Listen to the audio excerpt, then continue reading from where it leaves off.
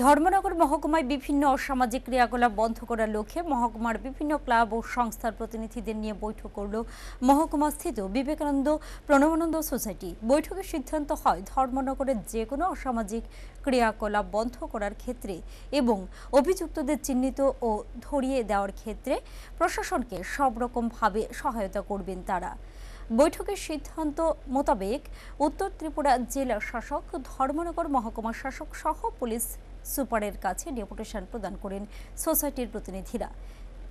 এই প্রসঙ্গে সোসাইটির সভাপতি অজয়জিৎ শর্মা সংবাদ মাধ্যমকে জানান।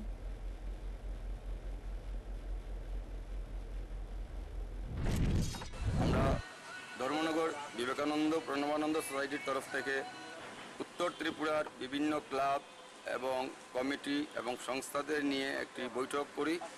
সেই বৈঠকে আমরা সিদ্ধান্ত নেই যে ধর্মনগরের বিভিন্ন প্রান্তে যে ক্রিমিনাল অ্যাক্টিভিটি শুরু হয়েছে, যা দিন দিন বেড়ে চলেছে, তার জন্য আমরা প্রশাসনের সাথে সাহায্য সাহায্য প্রদান করব এবং প্রশাসনেরও সেই ব্যাপারে আমরা যদি কোনো সেই সব ক্রিমিনাল অ্যাক্টিভিটি ডিটেক্ট করা এবং তাদের ক্রিমিনালকে আইডেন্টিফাই করে প্রশাসনে তুলে দেওয়ার ক্ষেত্রে প্রশাসনেরও সহায়তা আমরা কামনা করি।